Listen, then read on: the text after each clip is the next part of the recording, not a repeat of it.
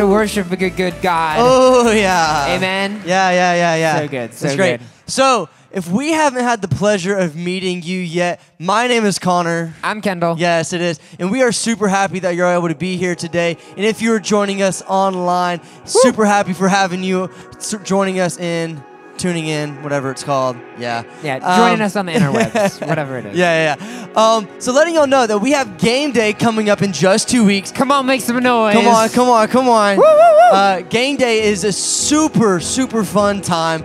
Y'all are gonna be able to bring your friends, and please bring them. Like I said, like please bring them because we want them. We want your friends to be able to experience God's presence in this house because we can do it here. It is gonna be a great time. I am super excited. Don't forget, like I said, bring that one. Bring your friend. Okay. Bring okay. your one. Bring, Bring your, your one. one. And hey, if you missed it, we actually got water baptisms. They're happening Yeah, we do. today and tomorrow. They're right after service. Woo! If you haven't signed up yet, so it's a little too late to make it this time, but we're going to be having them again. It's on March 6th Ye- and 7th. Yeah, it is. So you guys can sign up to be water baptized. If you go to our starting point students booth with your small group leader, all the information you need is right there on how to sign up, how to get involved, how to take that He next step and declare Jesus Yeah. the Lord of your life publicly. Ooh, So cool. yeah. So cool. That's awesome. But yeah, water baptisms are right after service, so feel free to hang out in the main lobby. You can go see our everybody from our kids all the way through our adults get Yeah. get baptized. today. Awesome, awesome. sweet. So we're gonna get into our tithe verse. It is Proverbs 22 9. It says, He who is generous will be blessed, for he gives some of his food to the poor. I want to focus on the aspect of this verse where it says, He, he who is generous. Do, we, do y'all know what generous means? If not, it's okay. Um, so I was reading in another version of this translation. It says that the Lord will bless you for if you freely give to the poor. Oh, come on. So for Good. me, like freely give. So like you give to somebody without expectation to get something in return. So y'all, so like I ask y'all, y'all, y'all have all been given something in this house, whether it's time or whether it's money. That's two things I'm gonna focus on right now. Time and money. So we've all uh-huh. get, been given some type of money that we can give back to God, just giving to God, not expecting a blessing in return in any way, but giving it to Him wholeheartedly. And we can give Him our time 10 minutes a day, 10 to 15 minutes a day. We can give back to Him, not expecting or wanting anything back for what He's going to do in our day, but He will bless it. So I pray, um, um, real quick, if you have a tithe in this house, a money tithe, you can go and put it right over here in this bucket. It is a way that you can, like I said, give back to God, and He can do immensely above what you could ever think or imagine with it. So Come if you on, could, bow your heads and close your eyes, and we'll pray for over our tithe. God, thank you for allowing us to be in this place. God, I thank you for blessing us with things that we could have never even known that we needed, like time and money. God, I pray that whatever we give back to you, God, is freely for, to you, not asking or wanting anything in return.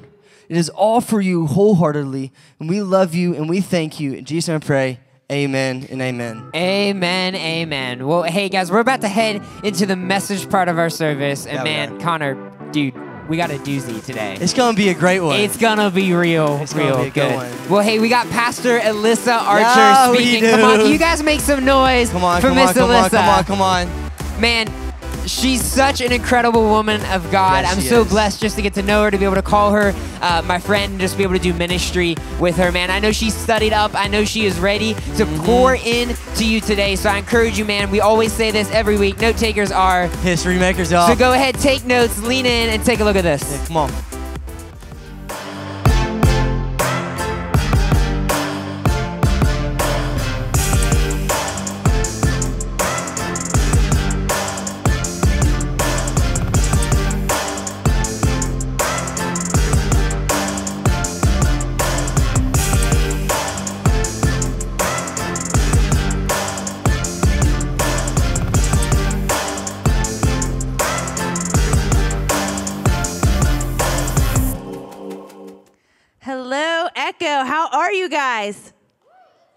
Whoa. okay, wait. Wait, let's try that one more time. How are you guys?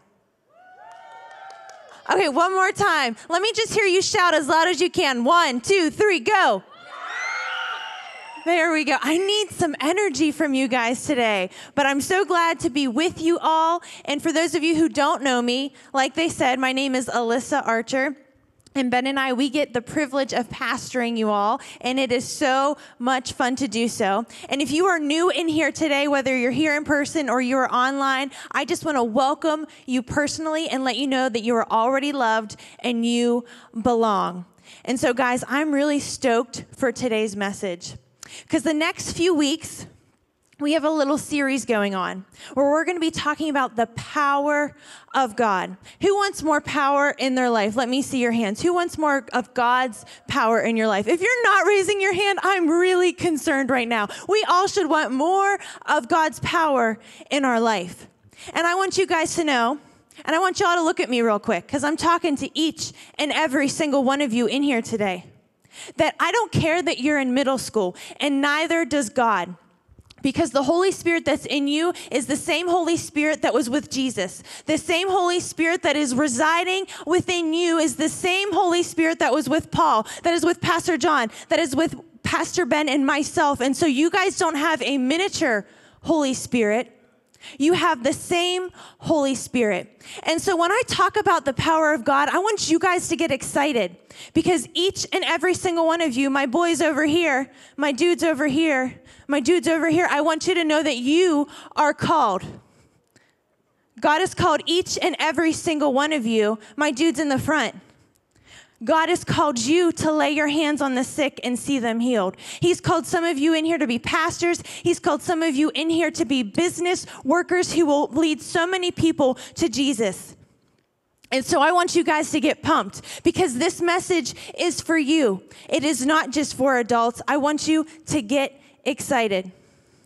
So let's go ahead and bow our heads and let's pray. Father God, we just thank you so much that we get to talk about you. We thank you that we get to be in your presence. And God, today, I just speak that people in here experience your love for the first time. And I thank you, Father God, for your goodness in Jesus' name. Amen. Amen. So today, the topic is grace. And the title of the message is It is Finished. Turn to your neighbor and say, It is finished. It is finished. And so when I started to study this topic, I got a little overwhelmed because if you've ever read all the scriptures on grace, there's a lot, and there is so much to grace. And so I'm going to do my best to give you a brief definition of what grace is. Grace is the favor of God meaning you get special treatment from God. It's His kindness, but it's also His power flowing through you to do things that you could never do on your own strength. Not only is it to lay your hands on the sick and see them healed, but it's also to pass that math class that you've always struggled with. It's also to be able to talk to people when you've always struggled, or maybe you have a stutter, or maybe you're super shy. That is God's grace working through you to be able to do things you can't do in the natural. But, guys, it's a gift. It's a gift. Grace is a gift. You cannot earn it. We don't deserve it. You don't have to work for it. But I want you to know that you already have God's grace. You already have God's grace as a son, as a daughter of Christ. And you have it because he loves you. But my favorite definition of grace, and if you're taking notes, write this down. My favorite definition is God's grace is the finished works of Jesus. It's the finished works of Jesus. So everything that Jesus died on the cross for us for, his healing, salvation, restoration, covering our sins, right relationship with God, all of these things, that is God's grace. It was all bundled up, wrapped in a present, handed over to you and I, and it's called grace. And so I want you guys to turn to John 19, verse 28. And this is the Passion Translation. And it says this Jesus knew that his mission was accomplished. And this is Jesus, he's already on the cross. He's already hanging on the cross. Jesus knew that his mission was accomplished. And to fulfill the scripture, Jesus said, I am thirsty.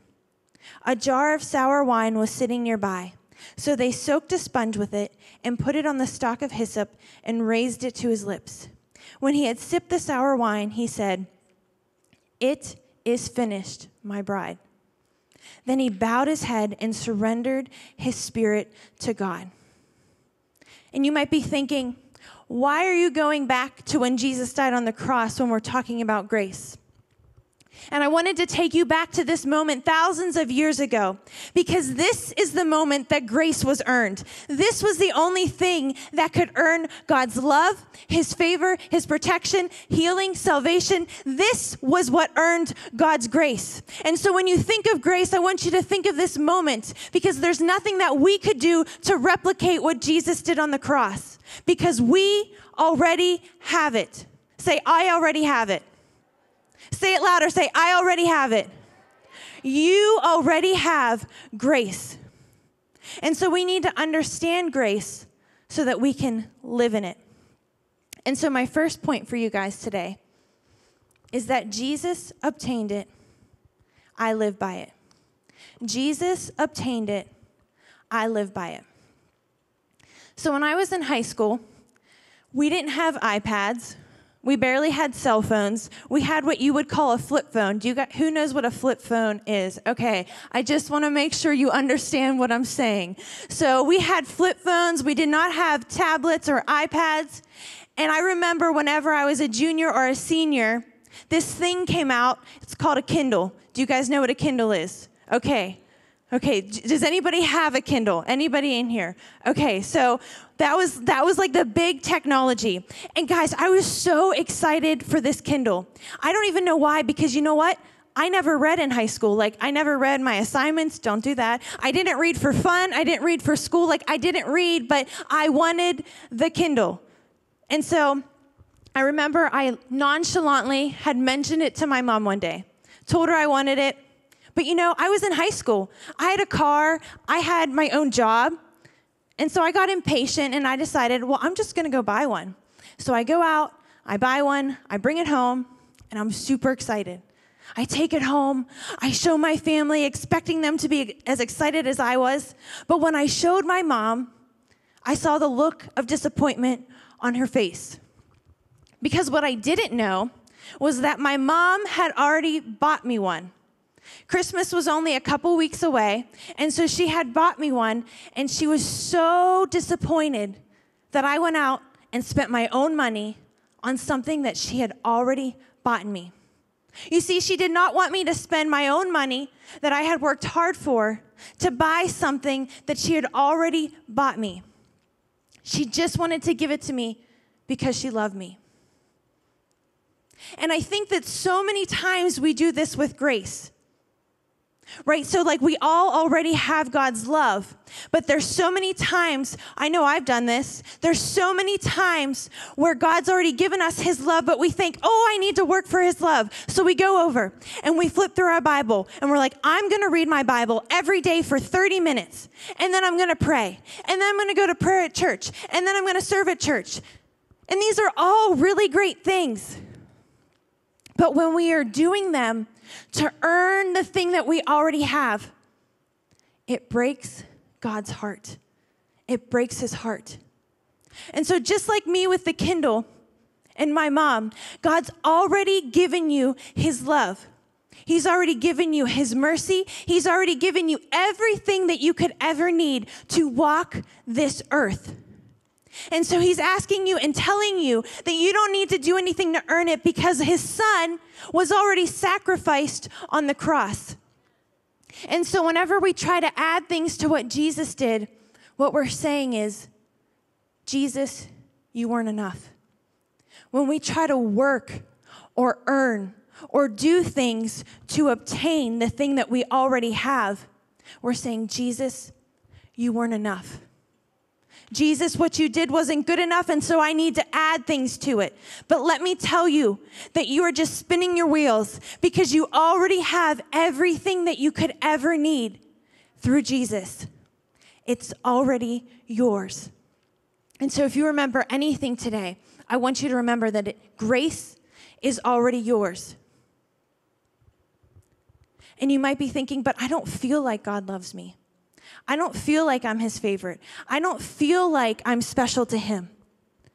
The thing about grace is you just have to trust God. You have to trust that what Jesus did was enough. You have to trust that what the Bible says is true.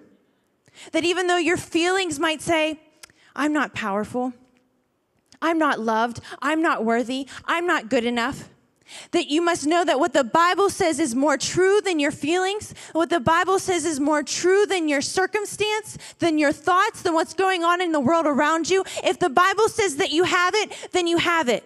It doesn't matter if you feel like you're loved, guess what? You're loved. It doesn't matter if you feel like you're healed, guess what? You're healed because He already said that He gave it to us. So that means that we have it.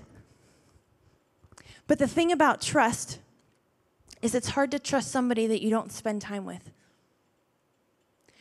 I mean, I'm not going to let somebody watch my kids that I don't know or that I don't trust. That'd be crazy. But the people that I trust are the people that I've spent time with, that I've gotten to know. And you can do that same thing with God. You can spend time with Him every day and get to know His goodness, get to know His love. And in that, you will learn to trust Him. The second thing is that His grace is for me. Say, my, His grace is for me. Say it again. Say, His grace is for me. I know sometimes that it's hard to think that God might love us, that we're forgiven, that our sins, that our weaknesses, our flaws are already covered. But His grace is for you. So when I was in college, I dated this guy and he seemed like he was awesome. And our first three months of the relationship were great. But then things started to get toxic. I crossed boundaries that I should have never crossed. And he started to treat me in a way that he should have never treated me. I got became depressed. I started to eat way less than I should have because I was convinced that I was fat. There was one point that I barely spoke because he had convinced me that I was too dumb. And so I thought every time I talked that there was no point in it, so I just kept my mouth shut. And so, this relationship, during this time, I developed anxiety, suicidal thoughts, and I felt so low, so less than. I had no more confidence. I was just completely insecure. The person who I used to be was gone. But the other thing that was devastating during this time is that even though I continued to go to church, I didn't really have a relationship anymore with Jesus. I stopped spending time with him. I distanced myself from him because I didn't think that I was worthy enough to go to him. I didn't think I was good enough. And so I just kept my distance.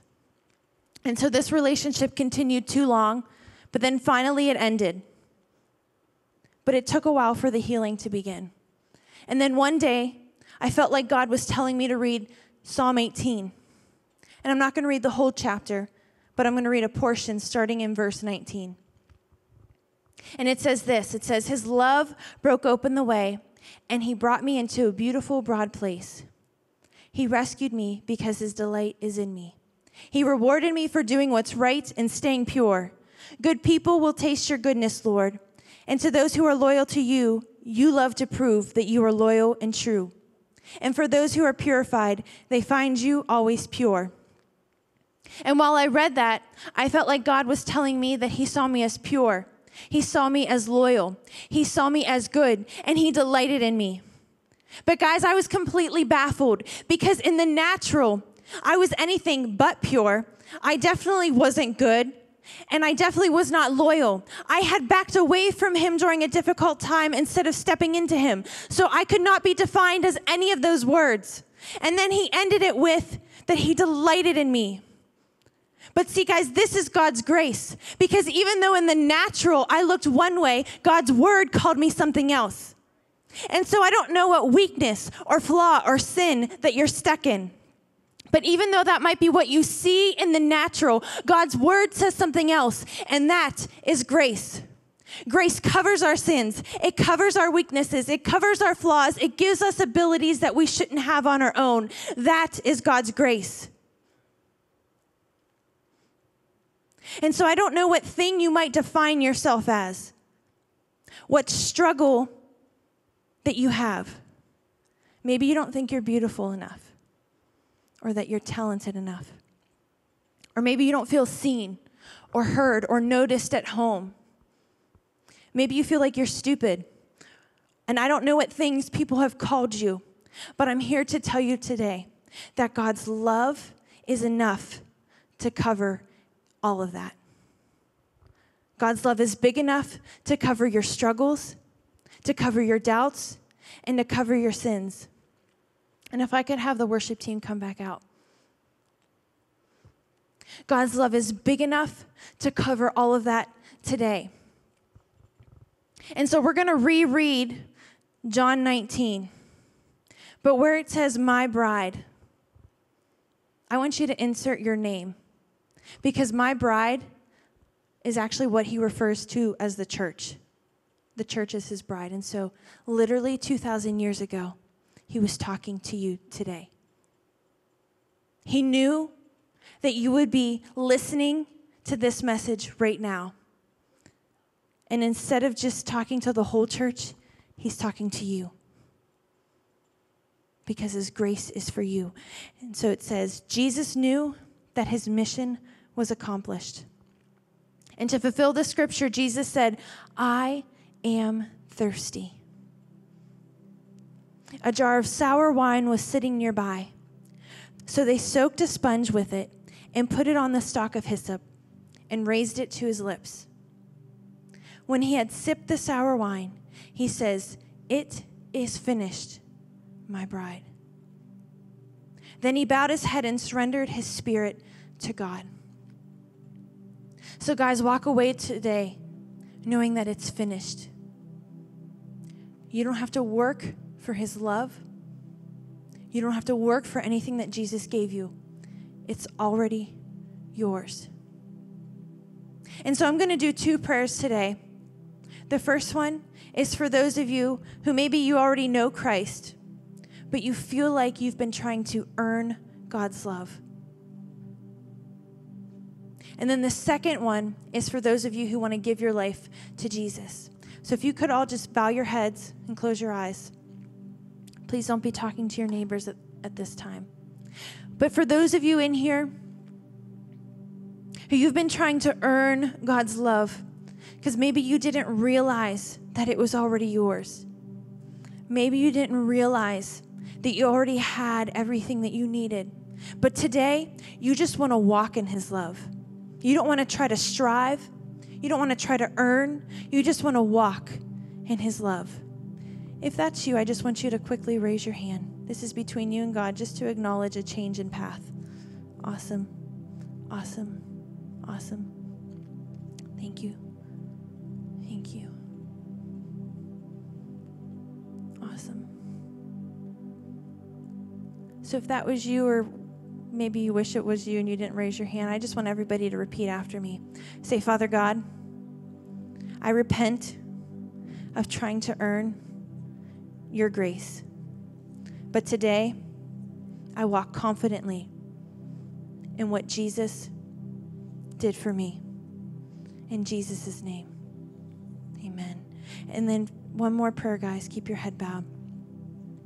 For those of you in here today who have maybe never given your life to Christ, and what that means is that you're saying yes to living a life for Jesus and you're heaven bound.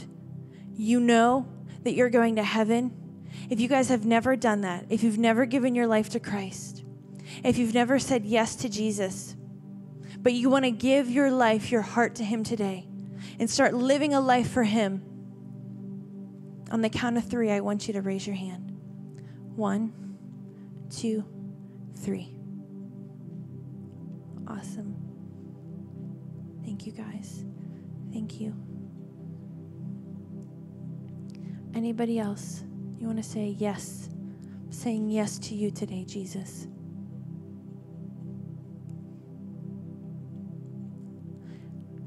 Okay, for everybody who raised their hand, let's all say this together. Say, Father God, I believe that Jesus died on the cross for my sins. And today, I make Jesus the Lord and Savior of my life. I'm a child of God. In Jesus' name. Amen. Amen. Let's give it up.